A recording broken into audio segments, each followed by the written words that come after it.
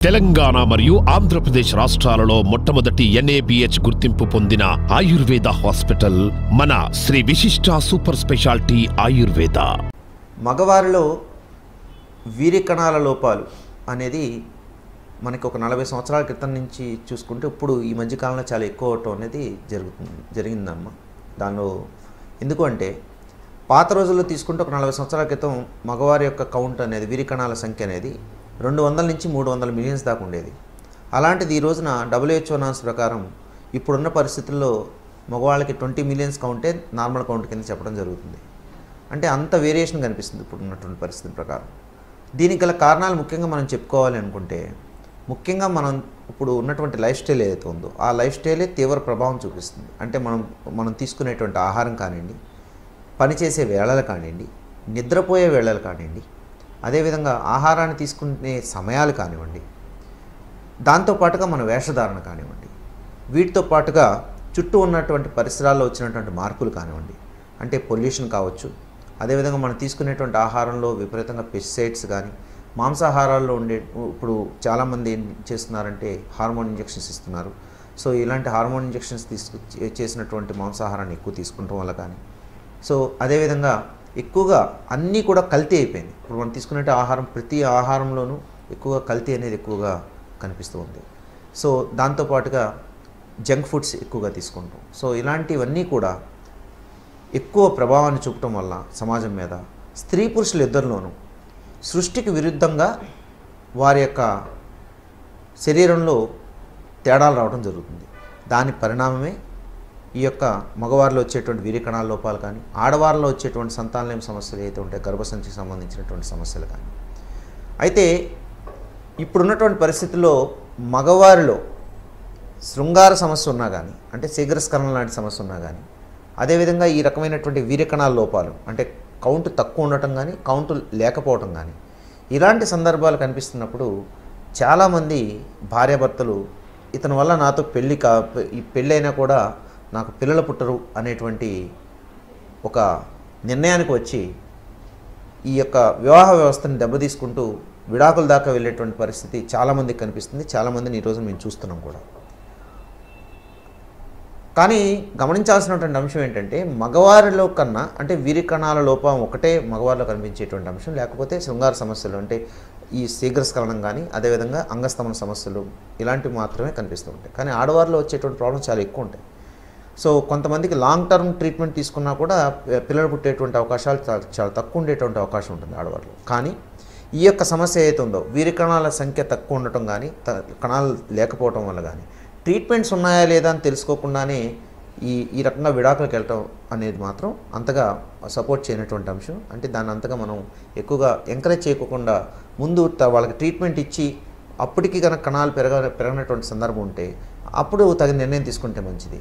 కానీ ఆడవారి యొక్క ఆరోగ్య పరిస్థితులు బాగుండి మగవారి యొక్క కౌంట్ తక్కువ ఉన్నా కూడా ఇప్పుడున్నటువంటి లేటెస్ట్ టెక్నాలజీతో కూడా పిల్లలు పుట్టేటువంటి అవకాశాలు చాలా ఎక్కువ ఉన్నాయి. సో కాబట్టి ఈ ఒక్క అంశాన్ని మనం తీవ్రంగా తీసుకుని విడాకుల దాకా వెళ్ళటం అనేది కరెక్ట్ కాదు. అదేవిధంగా ఈ వీరికణాల కణాల లోపాలు ఏదైతే ఉందో అంటే ఈ స్పెర్మ్కోన్ డిఫెక్ట్స్ ఏవైతే ఉన్నాయి ఇవి రోగం అయితే కాదండి. అంటే మగవారి నుంచి వచ్చేటువంటి స- సంతానం ఏదైతే ఉంటుందో ఆడవారి నుంచి వచ్చేటువంటి సంతానం కూడా ఇవి రోగాలు అయితే కాదు ఇవి డిఫెక్ట్స్ అంటే ఒక లోపాలు. ఈ లోపాలను మనం అధిగమిస్తే ఖచ్చితంగా యొక్క ప్రాబ్లం నుంచి బయట రావడానికి అవకాశం ఉంటుంది. కాబట్టి దాని గురించి పూర్తిగా తెలుసుకుని ఆ లోపాలకి తగినటువంటి చికిత్సలు కానీ తగినటువంటి ఆ లైఫ్ స్టైల్ని కనుక మార్చుకుంటే ఉన్న పరిస్థితి బెటర్ అవడానికి ఎక్కువ అవకాశం ఉంటుంది. అంగం యొక్క సైజ్ అసలు ఎంత ఉండాలి? ఒకవేళ అంగం సైజు పెంచడానికి ఏమన్నా మెడికేషన్స్ ఉన్నాయా? అనేది మనం తెలుసుకుందాం.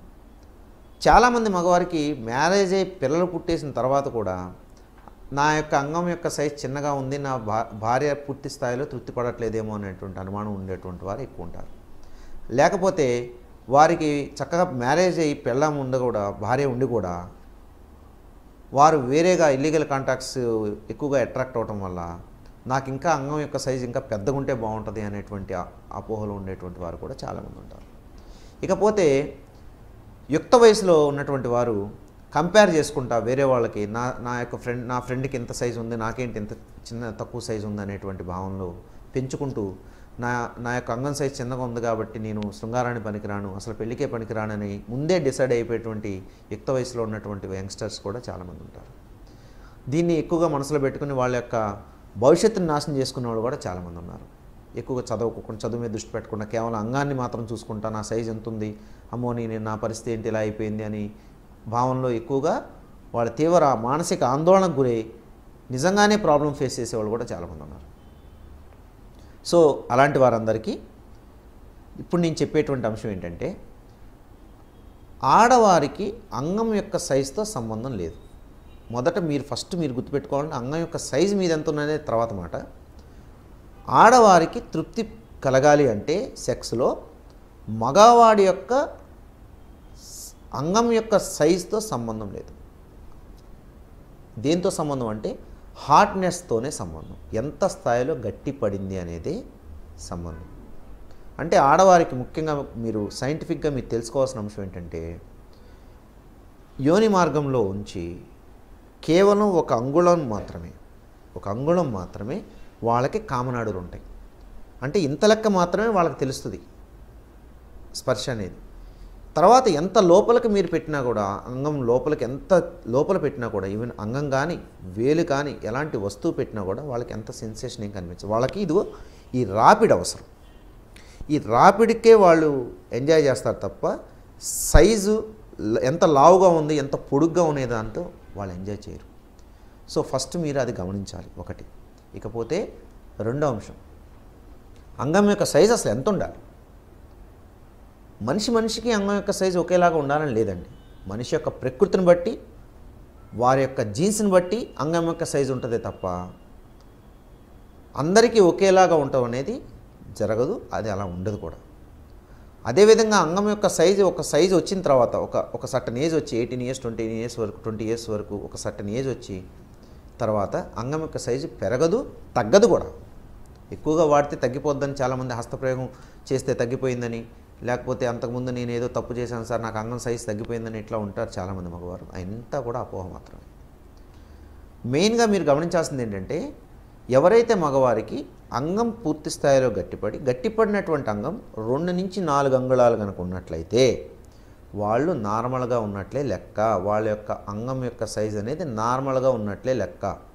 మీరు గుర్తుంచుకోవాల్సినటువంటి అంశం ఏంటంటే అంగం ఏ స్థాయిలో గట్టి పడుతుంది? ఒకవేళ మీ ఫిట్నెస్ వల్ల కానీ లేదంటే మీ సైకలాజికల్ కండిషన్ బాగుందా లేదా మీ యొక్క ఫిట్నెస్ యొక్క కండిషను మీ యొక్క పార్ట్నర్ యొక్క సపోర్ట్తో ఎంతసేపు చేయగలిగాం ఈ టైం అనేది మిగతా అంశాల మీద కూడా డిపెండ్ అయి ఉంటుందండి. చాలామంది మగవారు నేను పావుగంట చేశాను అరగంట చేశాను అనేటువంటి మీరు అది కూడా చాలాసార్లు వినే ఉంటారు. అయితే నేనేంటి రెండు నిమిషాలు చేస్తున్నా మూడు నిమిషాలు చేస్తున్నా అనేటువంటి అనుమానం భయంతో ఉండేటువంటి కూడా చాలామంది ఉంటారు. సో ఇక్కడ అంగం యొక్క సైజ్ అనేది ఏదన్నా పూస్తేనో లేకపోతే ఏదన్నా ఇంటర్నల్గా మెడికేషన్ ఇస్తేనో పెరగదండి. అలా ఉండదండి. ఇంతవరకు సైంటిఫిక్గా అలాంటి మెడిసిన్స్ రాలేదండి. దయచేసి ఈ ఆన్లైన్లో కానీ లేకపోతే వెబ్సైట్స్లో కానీ వచ్చేటువంటి ఆ మెడికేషన్స్ ఏవైతే మీరు చూస్తున్నారో ఓరల్ మెడికేషన్ కానీ ఎక్స్టర్నల్ మెడికేషన్స్ కానీ ఇంకా సైంటిఫిక్గా ప్రూవెన్ కాలేదండి. ఒకవేళ అలాంటి ప్రూవెన్ అయిన మెడిసిన్స్ ఉంటే మాలాంటి డాక్టర్స్ ఖచ్చితంగా మీకు అందుబాటులో తీసుకొస్తారు. మీరు అది గమనించుకోవాలి. డాక్టర్స్ అవైలబిలిటీ వస్తాయి అలాంటి మెడిసిన్స్. సో మిమ్మల్ని పూర్తిగా అపో గురి చేసి మీ యొక్క భయాన్ని క్యాష్ చేసుకోవడానికి ఎక్కువ మంది ప్రయత్నం చేస్తున్నారు. దీన్ని మీరు కొంచెం గమనించుకుని మీరు నిజానిజాలని తెలుసుకుని మీరు ఒకవేళ మెడికేషన్ ఏమైనా వాడదలుచుకున్నా మీరు చక్కని దగ్గరలో ఉన్నటువంటి డాక్టర్ని సంప్రదించి అప్పుడు మీరు మెడికేషన్ కానీ దాని యొక్క అనుమానాన్ని నివృత్తి చేసుకోవడం చేస్తే మంచిది. సో అంగం యొక్క సైజు మీద ఉన్నటువంటి అపోహలుని మీరు ఈ ఎపిసోడ్ ద్వారా తెలుసుకున్నారని భావిస్తూ నమస్కారం. మరిన్ని ఎపిసోడ్స్ కోసం మా ఛానల్ని లైక్ చేయండి షేర్ చేయండి సబ్స్క్రైబ్ చేయండి. Thank you Shri Vishishta super speciality Ayurveda. మీ ఆరోగ్యమే మా లక్ష్యం.